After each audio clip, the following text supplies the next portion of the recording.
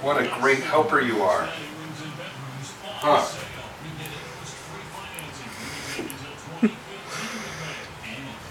Good job. Can you wipe that one spot for me? That big spot. Wipe that big spot. Good. Good try.